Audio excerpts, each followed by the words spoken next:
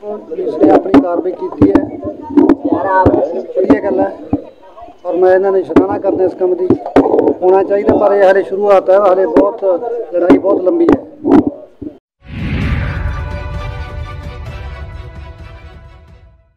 नमस्कार इन खबर में आपका स्वागत है 29 मई को मानसा जिले के जवाहर के गाँव में जिस तरीके से पंजाबी सिंगर सिद्धू मूसेवाला की हत्या हुई थी, उसके बाद पंजाब पुलिस को तलाश थी उन छः शूटर्स की, जिसमें से तीन को तो दिल्ली पुलिस ने गिरफ़्तार कर लिया था, तीन अभी बाहर थे। अंततः वो अमृतसर में कल बाघा बॉर्डर के पास हाथ लगे और उसके बाद दोनों को ढेर कर दिया गया। इनके नाम है मनप्रीत मन्नू, जिसे कि कुस- मन्नू कुसा भी बोला जाता है और जगरूप रूपा। जगरूप रूपा के जो पिता है बलजिंदर सिंह, उन्होंने कह दिया था कि बेटा बदमाश निकला, नशेड़ी निकला, इसलिए मैं उसकी बॉडी लेने के लिए नहीं जाऊँगा। हालाँकि बाद में उन्होंने बॉडी को रिसीव किया। उससे पहले सिद्धू मूसेवाला के पिता जो हैं, वहाँ से मानसा से चल करके आए अमृतसर और वहाँ पे थाने में गए। थाने में बयान दर्ज कराने के बाद सीधे सिविल अस्पताल पहुँचे, जहाँ पहुँच करके उन्होंने मनप्रीत, मन्नू गुस्सा और जगरूप रूपा की पहचान की, शिनाख्त की।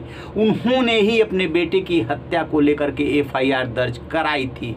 दरअसल 29 मई को हुआ ये था कि जब मूसेवाला अपने घर से निकले, उसके बाद उनके पीछे पीछे पिता भी निकले थे, जब उन्हें पता चला था कि उनका बेटा बिना बुलेट प्रूफ गाड़ी के, बिना गार्ड के निकल गया है अपनी मासी से मिलने के लिए दो साथियों के साथ। जो तो इस बात की जानकारी मिलते ही उन्होंने दूसरी गाड़ी में सिक्योरिटी गार्ड को बिठाया और पीछे पीछे भागे थे।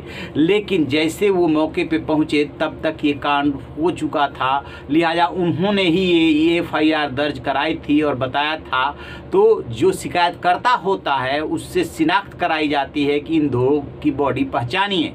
उन्होंने पहचान कर ली है। अब इसके बाद आगे की प्रक्रिया शुरू होगी।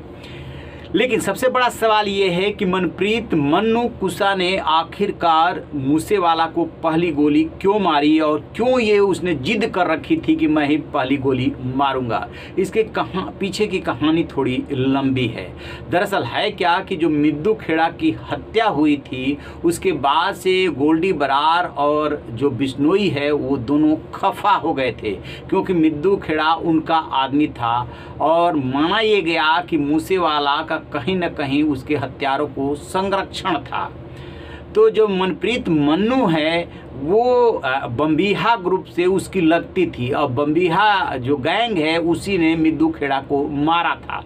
तो कहा यह जाता है कि मनप्रीत मन्नू की चचेरी बहन को इसी ग्रुप के बदमाशों ने छेड़ दिया था।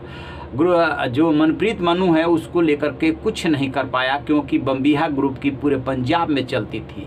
इसके बाद किसी मसले को लेकर के जब मन्नू कुसा जेल में गया, वहाँ पर भी इन्होंने बम्बीहा ग्रुप के बदमाशों ने उसको पीट दिया था और वीडियो वायरल कर दी थी, जिसको लेकर के वो काफ़ी आक्रोशित था और इस बात की, इससे मौके की तलाश में था कि कैसे बदला ले, लिहाजा मूसेवाला पे बदला लेने के लिए, क्योंकि वो बम्बीहा ग्रुप के नज़दीक था, उन्होंने, उसने ठान लिया था और गोल्डी बरार से बाकायदे कहा था कि वही पहली गोली मारेगा और उसी हिसाब से उसने पहली गोली मारी थी। इन खबर चैनल को सब्सक्राइब करें।